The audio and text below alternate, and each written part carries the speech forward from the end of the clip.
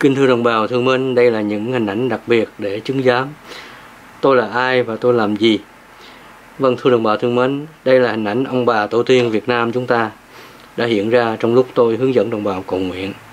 Đây là ông Rồng và bà Phụng. Đây là ông Tổ bà Tổ chúng ta. Tiếp theo, chúng ta cần copy 12 phép lạ vĩ đại này. Rồi chúng ta cùng nhau ra đường cầu nguyện từ Bắc chí Nam, từ Nam ra Bắc. Cũng như ở khắp mọi nơi trên thế giới có người Việt Nam thì chúng ta cứ làm như thế. Khi chúng ta ôm những phép lạ vĩ đại này ra đường cầu nguyện thì Trung Cộng sẽ bó tay và sẽ rút lui và sẽ không dám làm phiền chúng ta nữa.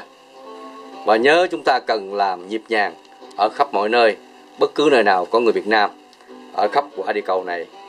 Hãy làm như thế. Hẹn điểm, hẹn thời giờ cùng nhau nhịp nhàng làm như thế, cùng lúc thông báo cho các đài truyền thông truyền hình báo chí trên khắp thế giới được biết thì chúng ta sẽ lấy lại danh dự và hòa bình của đất nước chúng ta một cách nhanh chóng và cả cộng đồng thế giới sẽ quý mến và kính nể chúng ta nhờ 12 phép lạ này và đương nhiên từ đó họ sẽ không dám làm việc.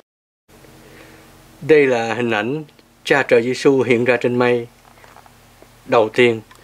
Đây là hình ảnh màu gốc chụp như thế nào in ra như thế.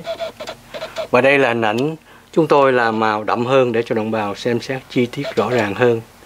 Đây là hình ảnh màu gốc và hình ảnh chúng tôi làm màu đậm hơn để đồng bào so sánh mà học hỏi.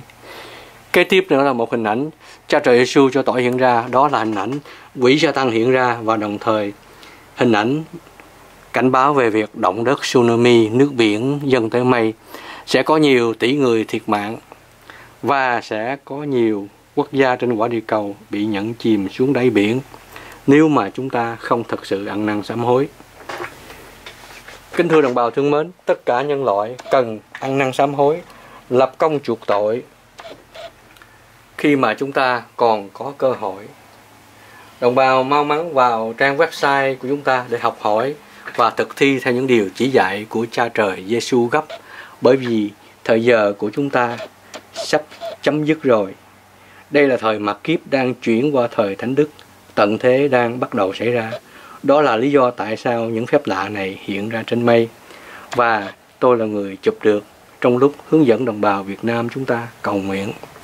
Đồng bào mau mắn làm bổn phận của mình khi mà đồng bào còn có cơ hội lập công chuộc tội hoặc là lập công bồi đức gì đó, tôi để cho đồng bào tự trả lời lấy phần tôi tôi chỉ khuyên đồng bào là hãy mau mắn, ăn năn sám hối, lập công chuộc tội khi mà chúng ta còn có cơ hội đây là hình ảnh cha trời Giêsu đây là hình ảnh ngài cho quỷ sa tăng hiện ra để cảnh báo về việc tận thế đang bắt đầu xảy ra. Và đây là hình ảnh linh hồn của hàng triệu anh hùng chiến sĩ hiện ra. Như thế này, đồng bào xem xét cho kỹ, học hỏi tại sao cha trời Giêsu cho những hình ảnh này hiện ra vào khoảng thời điểm này, thời điểm mà tất cả nhân loại đang rối ren bởi vì tội ác của nhân loại gây ra quá nhiều. Đây là hình màu gốc, linh hồn của những anh hùng chiến sĩ trận vong. Và đồng thời đây là hình ảnh một ông rồng vĩ đại đang phun lửa. Và đây chúng tôi làm màu đậm hơn để cho đồng bào xem xét mà học hỏi. Đây là linh hồn của những anh hùng chiến sĩ trận vong hiện ra rất rõ ràng. Cảnh báo cho nhân loại về việc tận thế đang bắt đầu xảy ra. Và đây là hình một ông rồng vĩ đại đang phun lửa đồng bào nhớ vào trang website của chúng ta để học hỏi về những phép lạ vĩ đại hiện ra cảnh báo cho nhân loại được biết về việc tận thế đang bắt đầu xảy ra. Và chỉ có cha, cha trời Giêsu là đứng duy nhất mới có thể cứu mình mà thôi. Nhớ những gì tôi cảnh báo tôi chính đây y sư thánh giống minh vương Việt Nam. Đồng bào có bổn phận đồng hành với tôi và phụ giúp tôi tất cả mọi phương tiện để tôi phụ giúp đồng bào chu toàn bổn phận của mình đối với cha trời, thượng đế toàn năng, mời gọi thánh giống chúng tôi kính chào tạm biệt và đây là địa chỉ liên lạc với chúng tôi Đồng bào vào trang website faithgodjesuschrist.com hoặc là địa chỉ tại nơi đây. Thành thật cảm ơn đồng bào đã theo dõi phần tường trình ngày hôm nay.